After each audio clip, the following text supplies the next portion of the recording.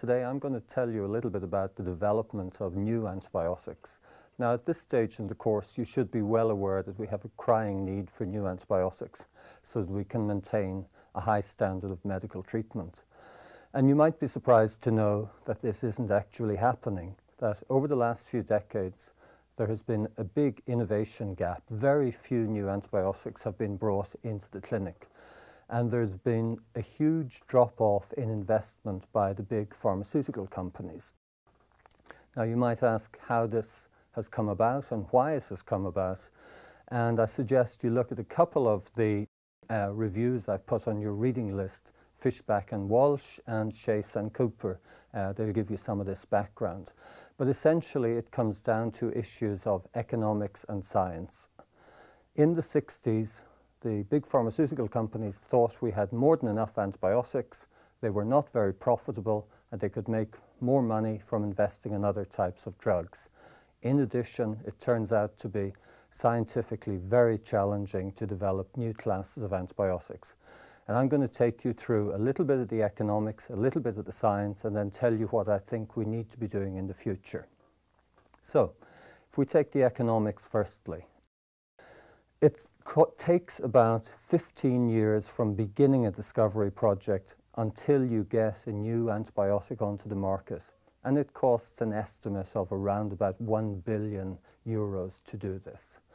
Now, the pharmaceutical companies can make very little profit on this uh, type of economic scheme because, as you know, we have resistance arising all the time, so the effective lifetime of these new drugs might turn out to be very short. Also, patients are treated for short periods of time. Now, the economics is bad. What about the science? Well, antibiotics are very special drugs. They have to kill bacteria or stop them growing in the context of an infection in the human body. That means you have to have chemicals that can distinguish between bacteria and human cells. This turns out to be very difficult. If you do a new drug development or a new drug discovery project, you'll easily find chemicals that kill bacteria. Many of them do it by disrupting the bacterial membrane. Unfortunately, these will also disrupt the human cell membrane, and so you get toxic chemicals. Another issue is that many of these small chemicals will bind to many different targets, not just the thing that you're aiming at. And many of these new drugs under development turn out to bind to human ion channels, like cardiac ion channels. And so you get a huge increase in the risk of a heart attack in patients. Again, toxic compounds that cannot be developed. Uh, you also have the issue of efficacy. How effective are they at inhibiting the growth of bacteria? Well, as you already know from this course, many of the pathogens that cause us medical problems are so-called gram-negatives. These have two different cell membranes, and unfortunately, chemicals that can get through one of these membranes typically cannot get through the other. So the number of molecules that we can discover that inhibit gram-negatives is very, very small. So these are the scientific challenges. Now, what can we do about this? Well, there's a lot of discussion going on at the moment how to encourage big pharmaceutical companies to get back into the game.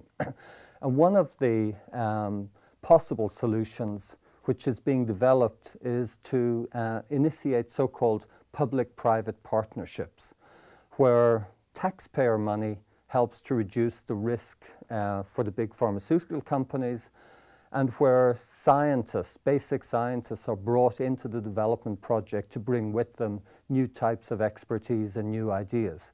Here in Uppsala, we're actually uh, heavily involved in one of these the European Union's Innovative Medicines Initiative, New Drugs for Bad Bugs, a particular project called Enable, where we're trying with the collaboration of big and small pharmaceutical companies, research institutes and hospitals, over 30 different partners, trying to develop new drugs for gram-negative pathogens.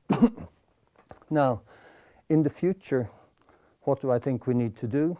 Well, a big mistake was made in the 60s when we thought we had enough antibiotics. So in the future, we need to encourage investment whether it's through public-private partnerships or some other means is not really important.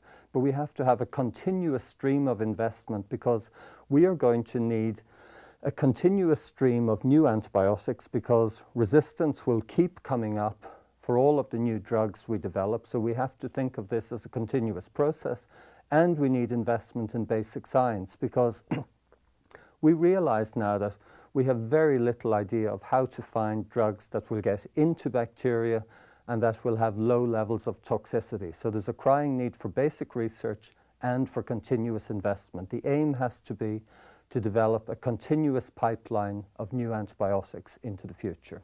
So thank you.